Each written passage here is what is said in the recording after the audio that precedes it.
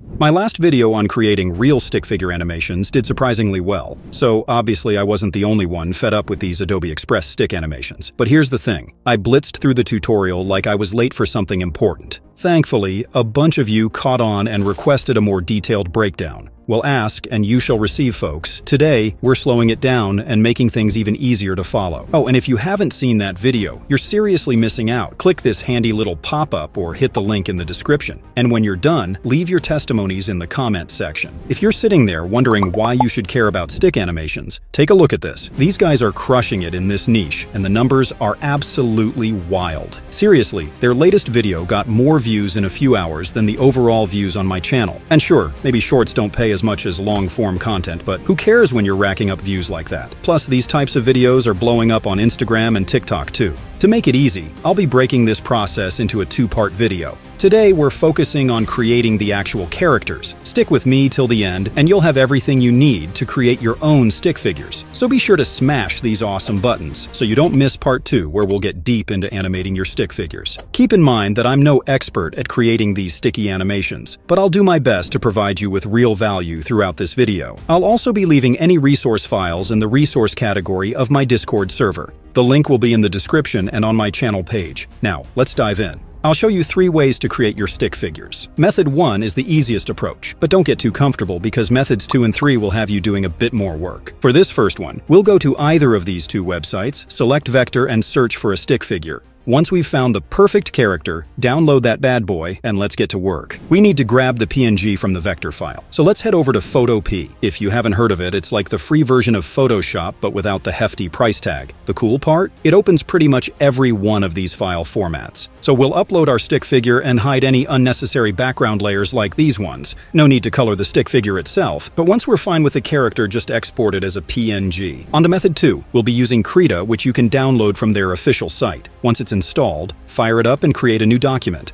Pro tip, aim for a YouTube-friendly resolution, so this aspect ratio will do. Now, if you have a tablet, I highly recommend using it for your drawings. The lines are way smoother, and honestly, it just feels better than wrestling with a trackpad. But if you're like me and stuck with just a laptop, don't worry, I've got your back. I'll show you how to get clean, smooth lines using just a trackpad.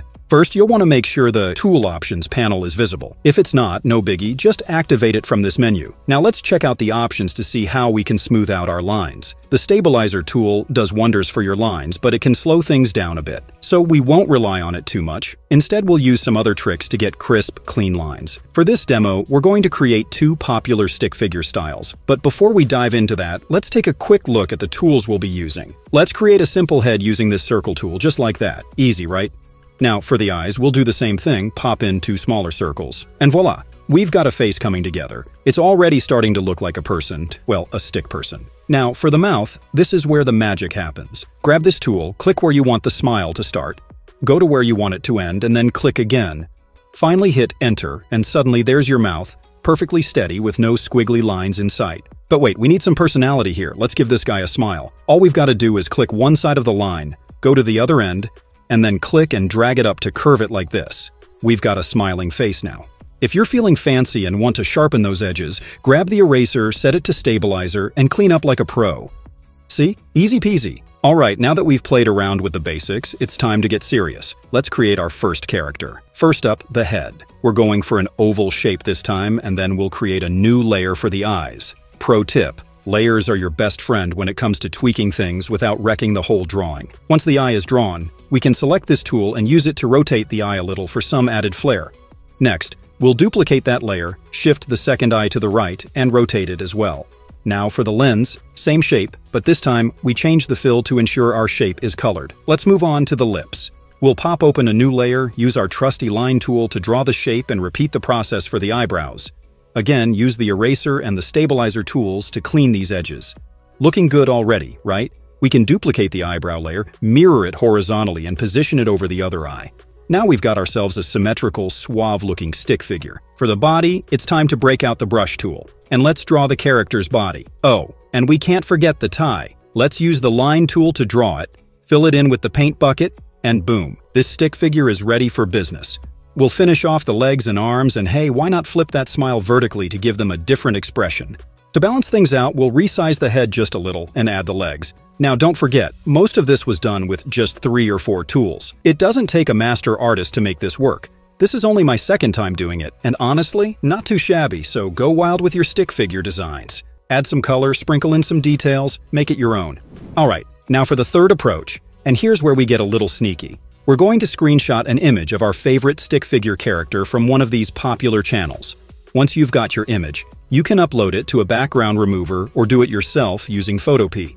With the background out of the way, head back to Krita and let's start fresh with a new document. Here's the cool part. We're going to use that image as a reference. Select this tool and upload our stick figure character. We're simply going to trace over this character. Now, I'll say this. Creating your own unique characters is always the way to go. But I get it. If you're just starting out, it can feel intimidating. So tracing a reference image is a great way to practice, learn the ropes, and get comfortable with the tools. To make things easier, decrease the opacity of the reference image so it fades into the background and grab your favorite tool. First things first, make sure your brush size is on point. You don't want to draw a stick figure with a brush the size of a paint roller. Once that's set, click where you want to start your line, move to where you want the line or curve to end, and click and drag until it looks just right. Super simple, right? Once you're happy with it, just hit Enter, and boom, clean, smooth line. Easy peasy. Now don't worry if you mess up. We've all been there. Just hit Escape if you haven't finished the line yet, or Control or Command Z if it's already drawn. I'll speed through the rest of the image using this process, and you'll see how quick it can be once you get the hang of it. Next, let's switch to the brush tool to tackle those details, nostrils and eyes. With just a few clicks, our character's head is looking snazzy, and we're ready to move on to the body, arms, and legs. Now, here's the fun part. Let's compare it to the original. Looks pretty close, right? The lines on our version are a little cleaner, which is great, especially if you want that smooth, polished look. For finer details, like the eyebrows, which should be thinner in some areas and thicker in others, we'll create another layer. Use the eraser, and with the stabilizer on, smooth out any wonky bits. Repeat the process on the other side, and before you know it, you've got yourself a stick figure that's ready to jump into action.